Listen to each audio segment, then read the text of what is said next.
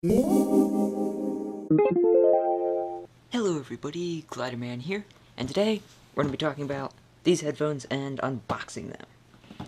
Okay, so, jumping right into them, uh, we go over here, and we pull out this little tab, and lift that up. It comes in this, uh, plasticky, uh, almost clamshell. If we just pull this out, sorry for the popping noises. We see uh, a little instruction booklet.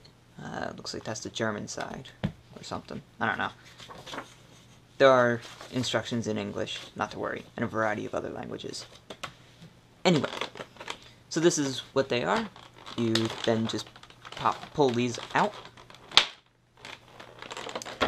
and pull out the bottom. And you can see here uh, we've got a quarter inch jack um, that this threads into. So that just slides right on top. And then for a secure fit, it screws on. And then you got a quarter inch jack on these headphones. I'm going to unscrew it for now. We get a really long uh, bungee cord. I believe it's a meter, um, like fully compressed from like here-ish to up here. And then I've like walked, I don't know, quite a ways uh, away from where the headphones were plugged in and they stretched nicely. So, uh, getting into these uh, themselves, let's just chuck this over here, push that out of the way.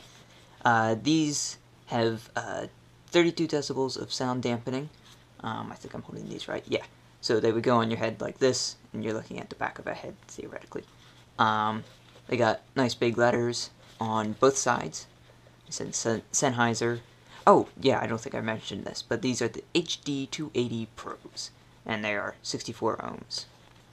Um, basically, 64 ohms is the resistance of the coils in them, and kind of relates to how much power you need to drive them. Uh, they come with nice squishy foam uh, on the ears here, and also uh, squishy foam for the headband.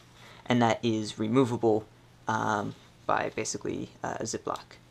So, if I can pull this off, you can pull that off, wash it, wipe it down, something, whatever, replace it. Doesn't matter. And the ear pads come off if you stick your thumb down in there and pull, you can see, uh, they can come off like that. And you would do that for replacement and whatever. And yes, they only have a cord on one side, and it does not appear to be uh, able to be converted to the other side. And should this cord break, uh, what you can do is you can pull off this ear pad, unscrew it, and then uh, I believe it's a little plug that you uh, replug this into uh, in order to replace it in case your cord gets damaged, a cat attacks it, whatever.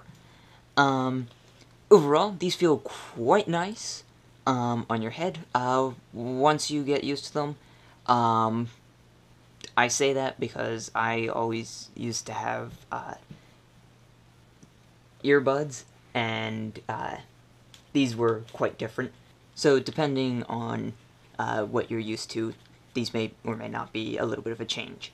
Um, they sound way better than those earbuds, I will say that.